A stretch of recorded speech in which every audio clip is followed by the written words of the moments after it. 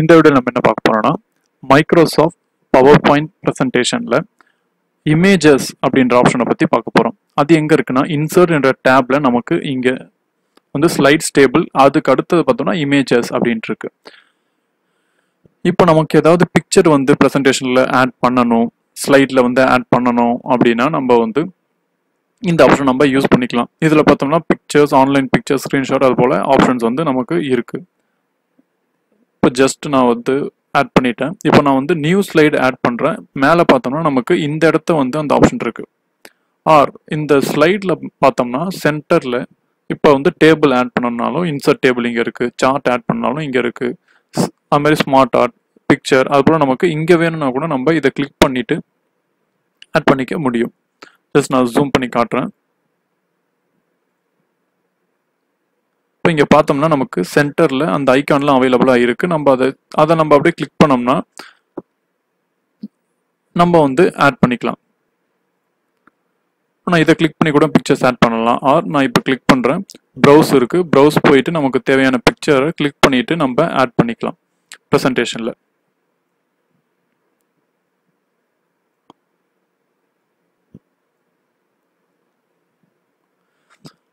இது போல் நம்ம ஆட் பண்ணலாம்.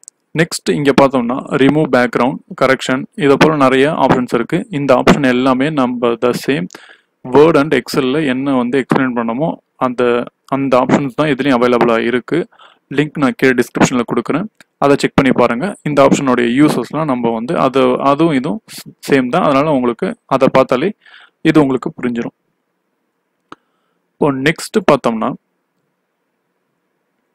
இன்சர்ட்டில் பிக்சர்ஸ் பக்கத்தில் பார்த்தோம்னா ஆன்லைன் பிக்சர் அப்படின்னு இருக்கு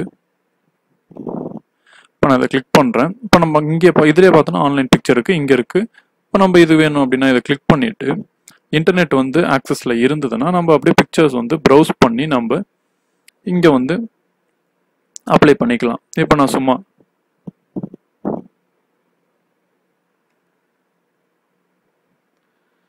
கிளிக் பண்ணுறேன் நமக்கு இப்போ பார்த்தோம்னா இங்கே சர்ச் ஆகும்.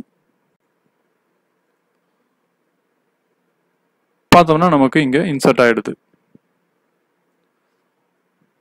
ஓகேவா இது போல் நமக்கு ஆன்லைனில் இருந்து ஏதாவது ப்ரௌஸ் பண்ணி வைக்கணும் அப்படின்னா கூட நம்ம இதை யூஸ் பண்ணிக்கலாம். நெக்ஸ்ட் பார்த்தோம்னா நெக்ஸ்ட் வந்து ஸ்க்ரீன்ஷாட் அப்படின்ட்டு இருக்கு இப்போ நம்ம ஏதாவது ஸ்க்ரீன்ஷாட் ஆட் பண்ணணும் அப்படின்னா நம்ம இதை கிளிக் பண்ணலாம். இதை கிளிக் பண்ண உடனே பார்த்தோம்னா ஸ்க்ரீன் கிளிப்பிங்னு போயிட்டு நமக்கு இதை போல் வந்துடுது இப்போ நான் வந்து இதை அப்படியே ஸ்க்ரீன்ஷாட் எடுக்கிறேன். ஸ்க்ரீன்ஷாட் எடுத்துட்டு அங்கே ஜஸ்ட் இது பண்ணுறேன் பார்த்தோம்னா இங்கே பேஸ்ட் ஆகிடுது ஓகேவா அது போல் நம்ம சிஸ்டமில் ஸ்க்ரீன்ஷாட் எடுத்து நம்ம வந்து ஸ்லைடில் பேஸ்ட் பண்ணணும் அப்படின்னா அந்த ஆப்ஷனை நம்ம யூஸ் பண்ணிக்கலாம். இப்போ வந்து இந்த பிக்சரில் இந்த